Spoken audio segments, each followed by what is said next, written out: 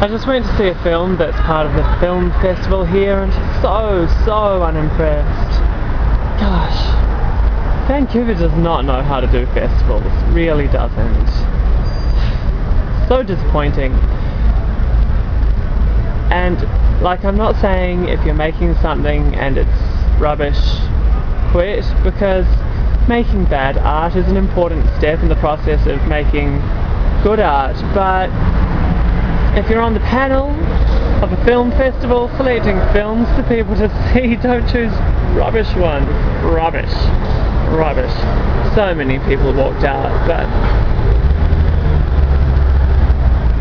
I really don't think I could do that, like ever. Like, if I was ever going to walk out on something, that would have been it. And um, I just can't, because I keep thinking it might redeem itself, and I'll never know. Uh, yeah. I guess I'm still an optimist.